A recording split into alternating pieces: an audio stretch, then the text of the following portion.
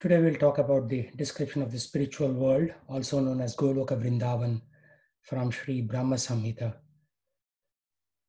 I worship that transcendental seat known as Shweta Dvipa, where as loving consorts, the Lakshmis, in their unalloyed spiritual essence, practice the amorous service of the Supreme Lord Krishna as their only lover, where every tree is transcendental purpose tree, where the soil is the purpose gem, all water is nectar, every word is a song, every gait is a dance, the flute is the favorite attendant, effulgence is the full is full of transcendental bliss, and the supreme spiritual entities are all enjoyable and tasty. Where the numberless milk cows always emit transcendental oceans of milk, where there is eternal existence of transcendental time, who is ever present and without past or future, and hence is not subject to quality of passing away, even for the space of half a moment. That realm is known as Goloka, only to a very few self realized souls in the world. So pay close attention. Every word is a song, every gait is a dance.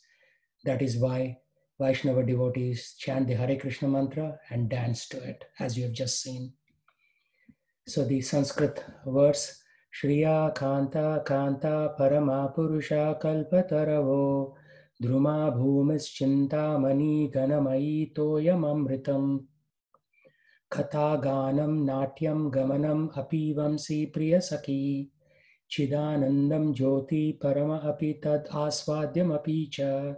सा यत्र क्षीराब्धिः स्रवति सुरभिभ्यश्च सुमा।